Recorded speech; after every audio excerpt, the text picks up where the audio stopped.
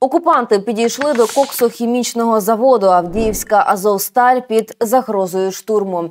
Збройні сили знищують техніку і живу силу ворога. Вся оперативна ситуація з цього напрямку прямо зараз у цьому випуску. Друзі, ви на фабриці новин. Мене звати Анастасія Федор. Починаємо. Максимум, що у нас було, це півдня тиші. Так описує ситуацію в Авдіївці захисник у 109-й бригаді ТРО. Багато хто говорить, що це дійсно найжорстокіший наступ на місто за весь час війни. Російські війська ціною величезних втрат продовжують наступати на Авдіївку. Зараз обстановка на одному з південних напрямків стає трохи яснішою, і на окупантів може чекати сюрприз.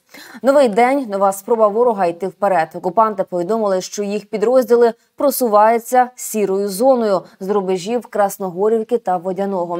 кажуть, темп просування невеликий. Кажуть, що українці не шкодують артилерії.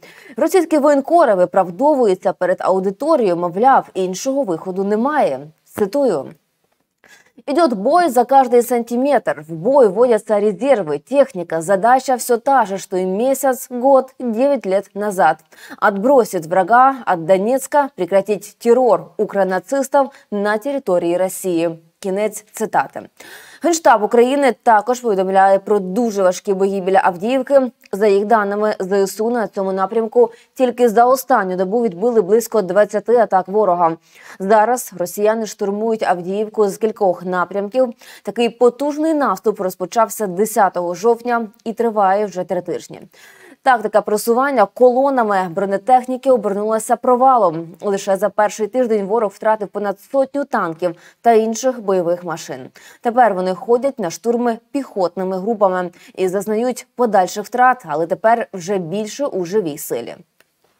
Міністр оборони України Рустем Умеров заявив, що у спробі захопити Авдіївку росіяни втратили близько 4 тисяч осіб. Це навіть перевищило втрати окупантів під час наступу на Вугледар. А відтак бої за Авдіївку стали найдорожчими для Росії в повномасштабній війні. Як я вже сказала, наші захисники гідно тримають найважчу оборону і не дають ворогу повністю перехопити ініціативу.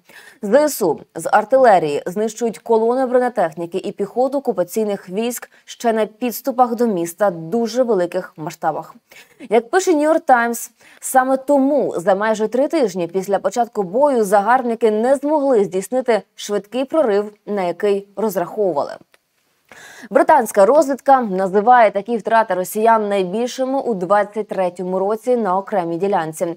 При тому наголошує, що характер наступальних операцій залишився тим самим, що й на початку війни. І Російські військові не здатні ефективно виконувати політичні завдання, яким вочевидь і є взяття Авдіївки. Без захоплення цього міста неможливе виконання однієї із заявлених цілей російського вторгнення. Повна окупація Донецької області не виключено, що поставлено завдання взяти Авдіївку будь-якою ціною, не зважаючи на втрати. До того ж, росіяни швидше за все мають настанову виконати це стратегічне завдання до виборів у березні 24-го року, щоб укріпити підтримку Путіна, хоч якимось успіхами. І справді, на жаль, невеликі досягнення на цьому напрямку окупантів все ж таки є. За три тижні росіяни зайняли невеликі території на північ, у тому числі терикон Авдіївського коксохімічного заводу, який досі не дає вирішальної переваги і прострілюється нашими збройними силами. Саме підприємство перетворено на потужний укріп район, який російські пропагандисти порівнюють з Азовсталлю.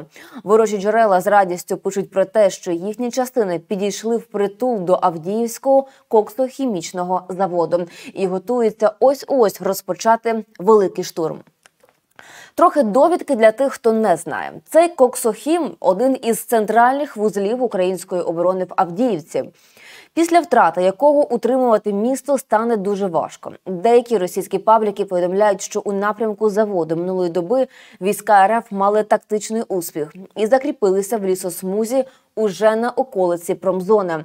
Натомість українські військові телеграм-канали пишуть, що основне напруження боїв зараз з південного напрямку, а це на іншому фланзі. Що ж, ми будемо пильно стежити за ситуацією. А вам, щоб не пропустити найважливішого, потрібно просто підписатися Підписатися на фабрику новину, а також підтримати нас вподобайкою і коментарем. Друзі, пишіть свої очікування. Як думаєте, чи вдасться ворогу прорватися і захопити місто? Чи варто зараз утримувати Авдіївку до кінця? Пишіть усе під відео. Нам цікаво почути вашу думку. І до зустрічі.